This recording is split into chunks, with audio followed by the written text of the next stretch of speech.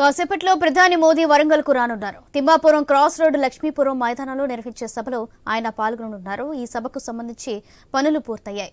Helicopter landing సభా ప్రాంగణం parking భద్రతా ఏర్పాట్లను ఎస్పీజీ అధికారులు east zone DGP Ravinder Mamnoor ACP తిరుపతితో కలిసి వరంగల్ పోలీసులు కమిషనర్ అంబర్ కిషోర్ షు పరిశీలించారు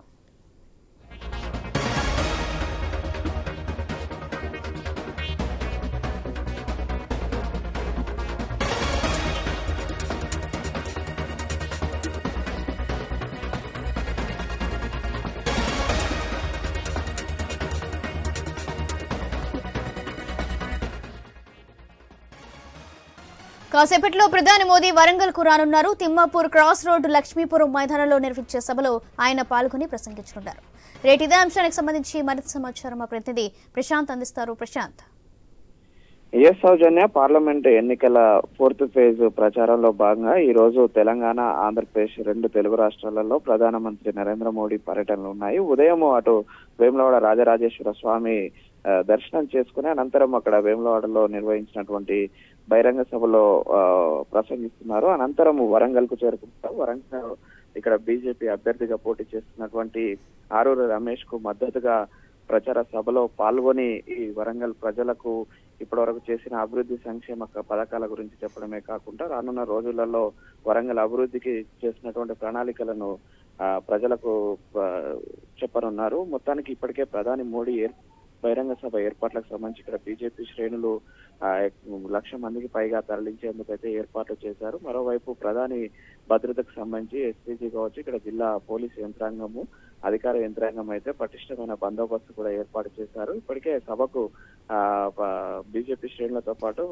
జనాలు కూడా భారీగా తరలి వచ్చారు మరి కాసేపట్లో వేములవాడ నుంచి నేరుగా ప్రత్యేక విమానంలో ఇక్కడికి మామూరు ఎయిర్పోర్ట్కు చేరుకుంటాడు. మామూరు ఎయిర్పోర్ట్లో ల్యాండ్ అయిన తర్వాత అక్కడ నుంచి ఇక్కడ లక్ష్మీపూర్లో జరిగేటువంటి బహిరంగ సభ వద్దకు వాహన శ్రేణి ద్వారా చేరుకుంటారు. అనంతరం ఇక్కడ ప్రచారంలో పాల్గొని ఇక్కడ నుంచి మళ్ళీ తిరిగి ఆంధ్రప్రదేశ్కు బయలుదేరుతున్నాడు సౌజన్య. దీనికోసం అయితే ఇక్కడ వరంగల్ ఉమ్మడి వరంగల్ జిల్లాలో ఉన్నటువంటి వరంగల్ అదేవిధంగా మహబూబాద్ రెండు పార్లమెంట్ అభ్యర్థులకు మద్దతుగా ఈ యొక్క ప్రచారంలో పాల్గొనున్నట్టు మనకు ఇప్పటికే బీజేపీ శ్రేణులు చెప్పారు. ఇక్కడ వరంగల్కు ఇప్పటి వరకు చేసినటువంటి అభివృద్ధి సంక్షేమ కార్యక్రమాలతో పాటు రానున్న ఐదేళ్ళలో ఎలాంటి అభివృద్ధి ఉంటుంది అనేది విషయాలు చెబుతూనే ఇటు ప్రతిపక్ష ఇండి ఇండియా కూటమి పైన కావచ్చు ఇటు ఇక్కడ స్థానిక అభ్యర్థులపై ఎలాంటి వ్యాఖ్యలు చేస్తాడు ఎలాంటి కౌంటర్స్ ఇస్తాడు అనేది కూడా కొంత ఆసక్తిగా మారింది.